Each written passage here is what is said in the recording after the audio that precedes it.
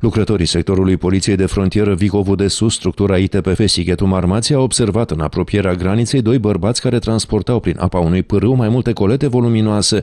Polițiștii de frontieră au acționat pentru reținerea celor doi, somându-i prin voce, însă aceștia au abandonat coletele și au încercat să fugă, fapt pentru care au fost trase mai multe focuri de avertisment.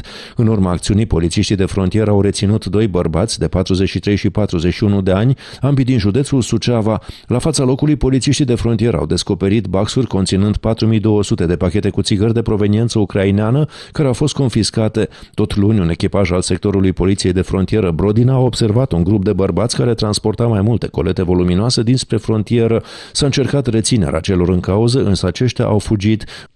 Întrucât nu s-au oprit nici la somațiile prin voce, polițiștii de frontieră au tras patru focuri de avertisment, însă nici de această dată contrabadiștii nu s-au oprit scăpând cu fuga. Au lăsat în urmă 4480 de pachete cu țigări ucrainene și lucrătorii de la sectoarele poliției de frontieră Sighetul Marmației și Valea Vișeului au descoperit în apropierea graniței mai multe colete care conțineau 8220 de pachete cu țigări de contrabandă care au fost confiscate.